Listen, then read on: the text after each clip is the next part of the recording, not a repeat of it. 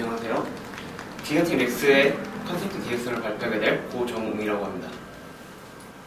예, 제 발표 순서는 기획 의도, 게임 소개, 진행 방식, 기타 사항 순서로 진행하겠습니다. 네, 저는 레이드 시스템을 잘 즐겨하지 않던 유저입니다.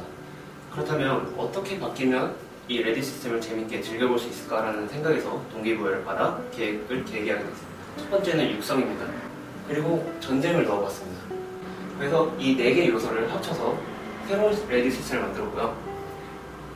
이 두 가지의 특성이 도출되었습니다. 레이드 보스 육성과 레이드 전쟁입니다. 첫 번째로 레이드 보스 육성을 특징으로 잡은 이유는 레이드를 즐기기 위해서는 다양한 레이드 보스와 그에 맞는 공략법이 존재하기 마련인데요.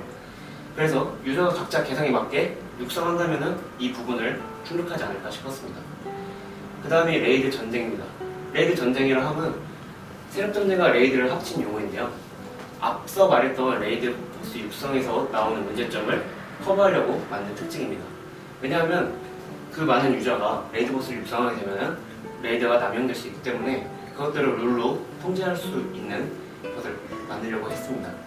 그 룰이 무엇이냐면 서로의 레이드 보스가 레이드의 목표가 되어 전쟁을 진행하는 것이 게임의 방향성인데요. 처음에 특징이었던 raid 보스 육성에 대한 방향성은 감성적이어야 된다는 겁니다. 처음에 raid 보스를 육성했을 때 가장 우려되는 부분은 가치관이었습니다. raid 보스는 항상 학살의 대상이었지만 가치관을 바꾸어 좀 더 긍정적으로 유저에게 다가간다면 좋을 것이라 생각했습니다. 다음 두 번째 방향성은 긴장감입니다. raid 전쟁에서 오는 긴장감은 적절한 긴장감은 재미로 승화될 수 있기 때문입니다. 다음은 개요입니다. 장르는 RBR, MMORPG, 플랫폼 PC, 연령가는 청소년 이용 불가입니다. 시놉시스입니다. 인간들은 거대한 신의 힘에 매료되어서 그 힘을 쟁취하기 위해 전쟁을 하합니다. 게임의 목적입니다. 시나리오의 목적은 그 전쟁에서 승리해서 세상을 정복하는 것이고 개인적인 유저의 목적은 누구보다 강해져서 선망의 대상이 되는 것입니다. raid 보스 육성이라는 특징은 자신의 손으로 raid 보스를 직접 육성하는 것이었는데요. 거기서 오는 재미는 동시에 두 캐릭터를 성장시키는 재미가 있겠습니다. 그리고 raid 전쟁은 육성한 raid 보스가 세력 전쟁에 사용되는 것이었는데요. 여기서 오는 재미는 다중적인 목적에 역할을 수행하는 재미라고 할 수 있겠습니다. 차별화 요소입니다. 차별 대상은 아이온 게임에서 수호신장 시스템이 적합하다고 생각했습니다. 왜냐하면 이 게임과 같이 세력 전쟁과 raid가 합쳐진 방식이기 때문인데요. 차이점이 있습니다. 아이온에서는 유저가 raid 보스로 변하지만 이 게임에서는 유저가 육성한 pet이 raid 보스가 됩니다.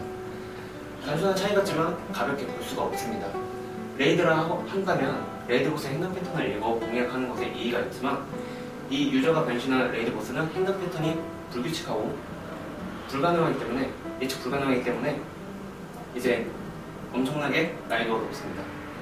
그래서 유저가 육성한 raid 보스의 일정한 행동 패턴을 유저가 설정하면 raid 보스의, raid 보스의 개성을 살리면서도 공략이 수월하게 됩니다. 다음은 진행 방식입니다. 유저는 홈페이지와 launcher를 통해 게임에 됩니다. 기본 화면입니다. 이 기본 화면은 아홉 분할로 UI를 설명할 수 있으며 이런 식으로 구성이 되어 있습니다. raid 보스는 육성하기 위해서 먼저 소환 아이템을 구해야 되는데요. 몬스터를 처치해서 소환 아이템을 얻는 게 그중 가장 대표적인 예입니다. 소환을 하게 되면 시련이 두 가지 이상 제출이 되고요. 유저는 한 가지 시련을 선택할 수 있습니다. 그러면 자동적으로 한 가지는 배제가 됩니다. 그렇게 시련에 성공을 하게 되고 소환에 성공하면 이제 이미지를 클릭해 raid 보스의 세부 설명을 보실 수 있습니다. 간단하게 ESC를 눌러 옵션 창을 불러보고 종료 버튼을 눌러 종료할 수 있습니다.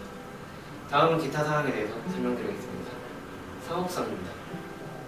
이렇게 그 3요소는 각자의 상업성을 가지고 있으며 유저들 개인 간의 밸런스를 망치지 않을 정도의 밸런스를 유지하게 됩니다. 이 게임의 하드웨어는 검은 사막의 요구 사항과 동일합니다. 이상 컨셉 계획서를 발표하게 된 서울게임 아카데미의 고정웅이었습니다.